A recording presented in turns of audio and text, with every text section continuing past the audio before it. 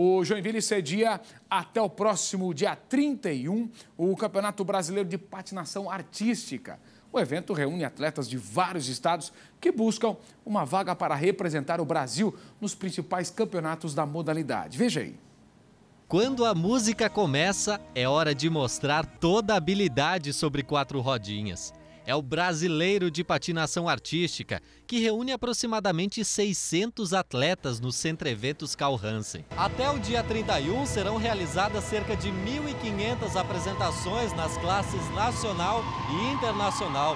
Os atletas vêm de sete estados e tentam uma vaga para representar o Brasil nos principais eventos da modalidade. Campeonato Sul-Americano, que vai ser aqui em Joinville no mês de abril, nas últimas semanas de abril, é, e até mesmo o Campeonato Mundial desse ano, que, que vai ser na Espanha. Com apenas 14 anos, Valentina já foi campeã pan-americana e tem títulos nacionais e paulista.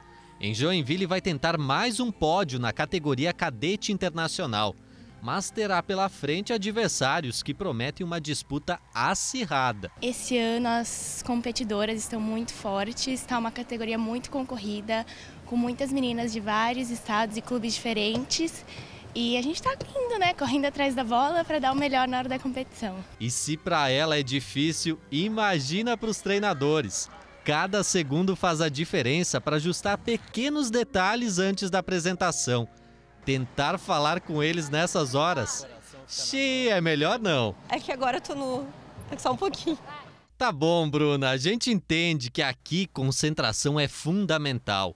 A Cláudia que o diga. Parecia patinar junto enquanto o atleta se apresentava. São meses de trabalho, a gente conhece cada passo, cada expressão, cada gesto que o atleta vai fazer e sabe que quando entra na quadra às vezes é um pouquinho mais tenso tem que saber lidar também. Então a gente também fica aqui na tensão para ver se vai sair tudo certo e acaba coreografando junto. Neste ano, a competição trouxe novidades. O sistema de avaliação se tornou semelhante à patinação no gelo, onde as partes artística e coreográfica têm grande valor na pontuação final. Nós trouxemos, fizemos uma adaptação, é, tentando deixar é, mais uh, objetivo essa, essa, essa pontuação. Se o olhar dos juízes se tornou mais criterioso, quem ganha é o público, com apresentações cada vez mais emocionantes.